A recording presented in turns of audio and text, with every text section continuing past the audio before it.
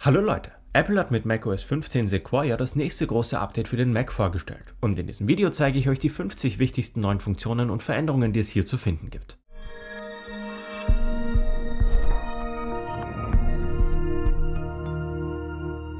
Mit welchen Mac-Modellen macOS 15 kompatibel ist, bekommt ihr mal hier aufgelistet. Zum Beispiel MacBook Air ab 2020 oder MacBook Pro ab 2018.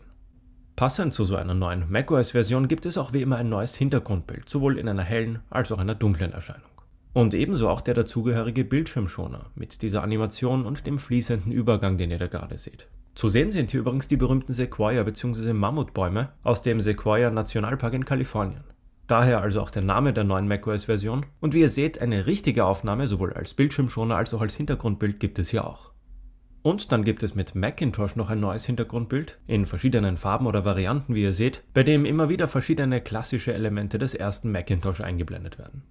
Eine der interessantesten Neuerungen ist hier eigentlich iPhone Mirroring. Suche ich im Finder, danach wird mir das auch angezeigt und auch unter meinen Apps ist es nach dem Update hinzugekommen. Doch wie einige von euch wissen, ist das aktuell in der EU leider nicht verfügbar. Klicke ich es an, steht hier auch geschrieben, ist in deinem Land oder deiner Region nicht verfügbar. Zwar berichten schon einige Nutzer von einer Möglichkeit, das zu aktivieren, indem man auf iPhone und Mac die Region auf USA stellt, aber auch eine US-Apple-ID hat, aber für die alltägliche Nutzung ist das jetzt natürlich nicht praktisch. Das heißt, hier müssen wir uns leider noch gedulden, was ich persönlich auch wirklich schade finde. Um was es hier geht, möchte ich euch trotzdem kurz zeigen.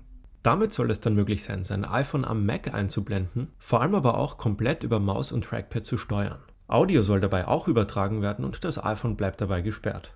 Bin ich also gerade am Mac, muss ich das iPhone gar nicht extra in die Hand nehmen und kann es stattdessen direkt hier machen. Benachrichtigungen vom iPhone sollen übrigens dann auch am Mac eingeblendet werden. Klicke ich auf so eine Benachrichtigung, wird mir das iPhone am Mac auch gleich an dieser Stelle oder in dieser App geöffnet. Dazu kommen soll dann auch noch Drag and Drop, also die Möglichkeit, Dateien zwischen iPhone und Mac in diesem Modus hin und her zu ziehen.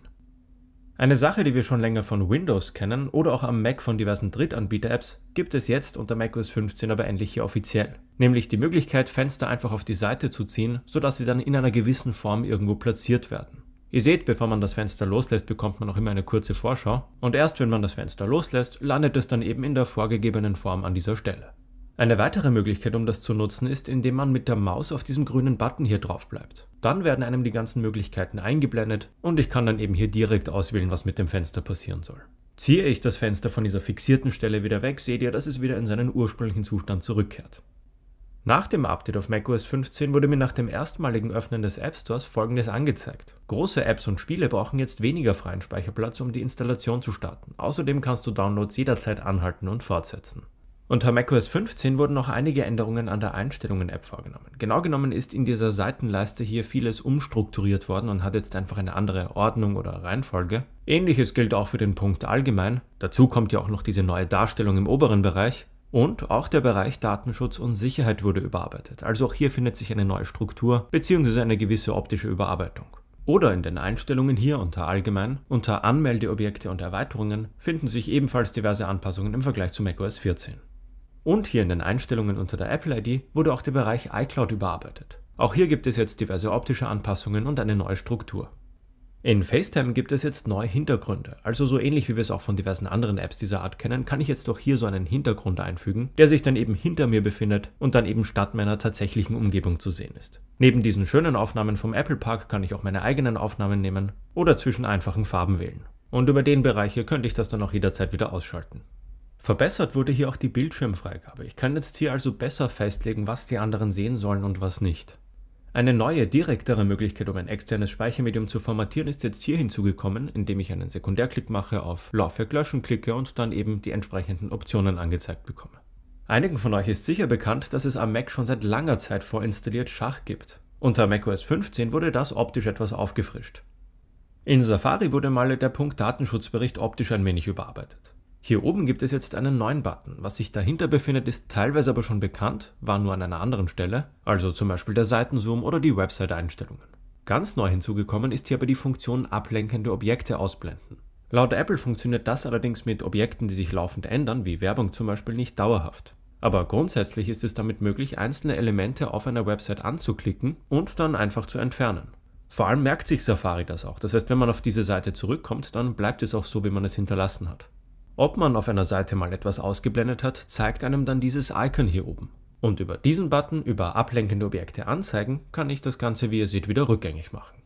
Wird ein Video abgespielt, gibt es unter diesem neuen Button oben Videovorschau.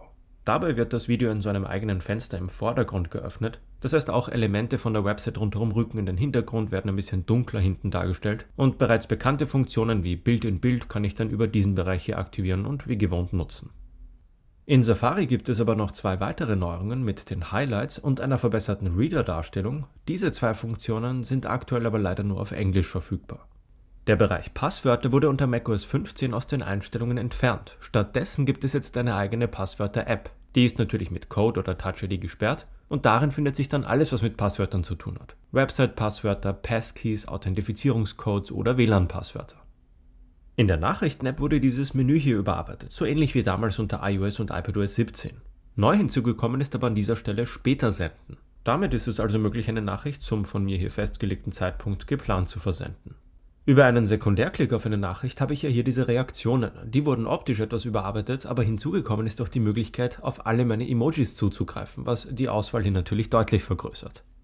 Auf den ausgewählten Text hier kann ich über einen Sekundärklick jetzt Texteffekte anwenden. Da sind folgende Effekte jetzt zur Verfügung. Einen wähle ich hier mal aus und so könnte das dann zum Beispiel aussehen. Ebenso neu sind darüber jetzt aber auch Buttons für fett, kursiv, unterstrichen und durchgestrichen. In der Kalender-App kann man über diesen Button hier links jetzt geplante Erinnerungen einblenden und gemeint sind damit auch wirklich die geplanten Erinnerungen aus der Erinnerungen-App. Und in der Erinnerungen-App selber gibt es jetzt einen neuen zuletzt gelöscht Ordner. Die neuen mathematischen Notizen werden jetzt auch am Mac unterstützt. Einerseits das, was ich am iPad erstellt habe, sehe ich dann natürlich auch hier, aber andererseits werden auch direkt am Mac Rechnungen automatisch erkannt und ausgerechnet. Wird also genau genommen ein Ist-Gleichzeichen erkannt, wird das Ergebnis hier vorgeschlagen und bestätige ich es mit Enter, wird es endgültig eingesetzt. Darüber seht ihr auch, dass ich gewissen Variablen oder Begriffen Werte zuordnen und dann damit rechnen kann. Ebenso ist es in der Notizen-App jetzt möglich, ausgewählten Text über diesen Button bzw. diesen Button hier dann zu markieren. Ihr seht, mir stehen hier dann noch diverse Farben zur Auswahl und so kann ich dann eben wichtige Stellen anstreichen. Wandle ich den markierten Text jetzt hier in eine Überschrift oder Unterüberschrift um, dann entsteht daneben jetzt zu einem Pfeil. Klicke ich den an, kann ich die Sektion, die sich darunter befindet, ein- oder ausklappen. Und über diesen neuen Button hier oben kann ich jetzt auch direkt in der Notizen-App eine Sprachaufnahme machen und dann hier direkt einfügen. Unter macOS Sequoia wurde auch die Taschenrechner-App überarbeitet. In gewisser Weise wurde sie an das angepasst, was wir unter iOS und iPadOS 18 hinzubekommen haben. Also zum Beispiel gibt es hier auch die mathematischen Notizen oder diese neue Umrechnungsfunktion. Da kann ich dann hier oben auch hinklicken und auf viele weitere Einheiten zugreifen. Um auf bereits vergangene Rechnungen zuzugreifen, kann ich hier oben über Darstellung einen Verlauf einblenden. Hier finde ich dann eben alle Rechnungen und kann sie durch Anklicken auch wieder zurückholen. In den Einstellungen unter Bedienungshilfen unter Audio ist jetzt hier weiter unten am Mac der Punkt Kopfhöreranpassungen neu hinzugekommen. Und dann gibt es hier in den Bedienungshilfen unter Sprechen noch den neuen Punkt Live-Sprachausgabe. Dabei kann ich dem Mac beibringen, gewisse Sätze zu erkennen und dann mit einer gewissen Aktion darauf zu reagieren. Mit dem neuen verbesserten Game Porting Toolkit 2 sollen Entwickler auch bessere Möglichkeiten jetzt haben, um Spiele auf den Mac zu bringen. Allgemein verspricht Apple aber auch mehr Spiele oder mehr größere Titel, unter anderem ja auch das neue Assassin's Creed Shadows. Die Tipps-App sowie Inhalte daraus konnte man bisher über die Spotlight-Suche finden. Doch jetzt unter macOS 15 findet man die Tipps-App auch wirklich hier unter seinen Apps. In Freeform kann ich jetzt von dem Ausschnitt, den ich aktuell sehe, eine Szene erstellen. Das mache ich über diesen Button hier unten bzw. hier und kann mir dann diese Stelle in gewisser Weise speichern. Klicke ich dann auf meine Szenen oder die Pfeile hier unten, kann ich dann also zwischen den verschiedenen Szenen hin und her schalten. Bei einem größeren Board kann das dann vielleicht praktisch sein, um sich besser zurechtzufinden. Und das Verbinden von einzelnen Elementen wurde hier nicht nur verbessert, sondern auch wenn ich dann so ein Element, das gerade verbunden ist, verschieben will, geht das wesentlich flüssiger und flexibler als zuvor. Die Fotos-App wurde hier zwar nicht so überarbeitet wie unter iOS und iPadOS 18, aber Anpassungen wurden hier an der Seitenleiste vorgenommen. Struktur und Anordnung sind jetzt hier anders, aber es sind auch ganz neue Punkte hinzugekommen. Zum Beispiel unter den Sammlungen, vor allem aber auch unter Sonstige. Gerade hier sind wirklich einige neue Punkte dabei. Also in gewisser Weise wurde die Fotos-App dann auch hier an die neuen Punkte angepasst, die unter iOS und iPadOS 18 hinzugekommen sind. In der TV-App gibt es jetzt dynamische Untertitel. Ist der Ton stumm geschaltet zum Beispiel, werden Untertitel jetzt automatisch eingeblendet. Das Bild dazu seht ihr gerade deswegen nicht, da ich hier eine Bildschirmaufnahme mache. In Apple Maps ist es jetzt möglich, eigene Fußgänger- bzw. Wanderrouten zu erstellen. Bei einer Route klicke ich dann also das hier an. Der Startpunkt ist dann schon ausgewählt. Ich muss dann nur noch die Punkte anklicken, an denen sich die Route entlang bewegen soll. Also ihr seht, klicke ich jetzt hier hin oder hier hin, dann passt sich die Route immer entsprechend an. Und rechts oben bekomme ich dann auch noch einige relevante Infos angezeigt. Und in den USA sowie in Japan gibt es jetzt topografisches Kartenmaterial. In der Home App soll ich einen Gastzugang erstellen können. Und interessant ist da auch Apples Ankündigung, dass in der Home App später in diesem Jahr Saugroboter unterstützt werden sollen. Genauere Infos dazu gibt es aber aktuell noch nicht.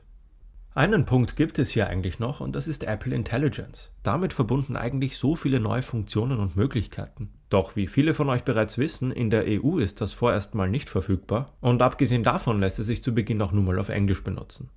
Eine interessante neue Entwicklung gibt es hier trotzdem. Auf seinem Event hat Apple angekündigt, dass Apple Intelligence im Laufe des nächsten Jahres neue Sprachen unterstützen wird. Da wurden dann einige Sprachen genannt, doch Deutsch war, wie es vielleicht manchen aufgefallen ist, nicht dabei. Doch hier in Apples Newsroom unter dem iOS 18 Artikel hat Apple das möglicherweise überarbeitet, denn hier werden jetzt noch weitere Sprachen angegeben im Vergleich zu denen, die am Event angekündigt wurden und unter anderem ist, wie ihr seht, auch Deutsch dabei. Damit sind wir dann aber am Ende des Videos angekommen. Ich hoffe, es hat euch gefallen und schreibt gerne in die Kommentare, was ihr zu macOS Sequoia sagt und wie es bei euch läuft. Und wenn ihr mich noch nicht abonniert habt, aber an weiteren Videos von mir dranbleiben wollt, dann abonniert gerne meinen Kanal. Vielen Dank fürs Zuschauen und bis zum nächsten Video.